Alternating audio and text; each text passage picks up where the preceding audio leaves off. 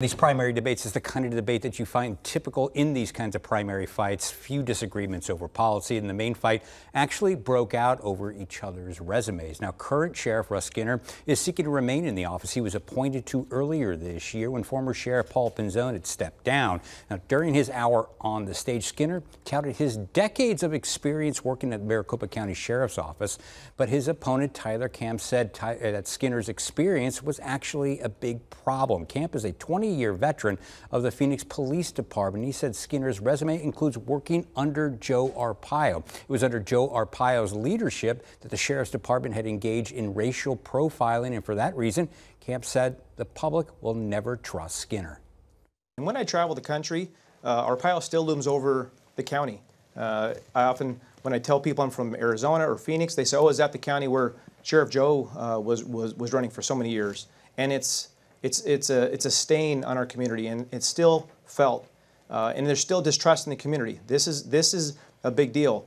And uh, anybody who's been associated with Sheriff Arpaio in, in, the eyes of many in our community, they're just never going to trust that person. To, to allocate that somebody that's been with the agency bears the front and same leadership style as somebody that served in the past is absolutely wrong. That'd be like saying Mr. Kamp here, who served with Phoenix, and right now they're looking at a DOJ investigation, impending federal degree, and saying, well, he's just as guilty uh, of being part of that organization. You can't pin employees with leadership now, Skinner was obviously referring to that recent Department of Justice report that found that Phoenix Police Department had violated constitutional rights and engaged in racial profiling. Kamp also questioned uh, Skinner's political affiliation. Skinner was a lifelong Republican before he recently switched to become a Democrat, so he'd be eligible to get appointed sheriff after Penzone had stepped down. Both of these candidates are Democrats, and there was a lot of agreement tonight, you told us. Yeah, there is a lot of agreement. You see that a lot in primary fights. That's why sometimes you see these primaries, they get very ugly because they're arguing over personalities and other things that don't, don't have nothing to do with policy. You know, for example, some of the things they were agreeing on um, was, you know, immigration enforcement. Big issue here with the voters. Voters are going to have a say, could possibly have a say on a, on a big immigration ballot measure that the legislature sent to the ballot.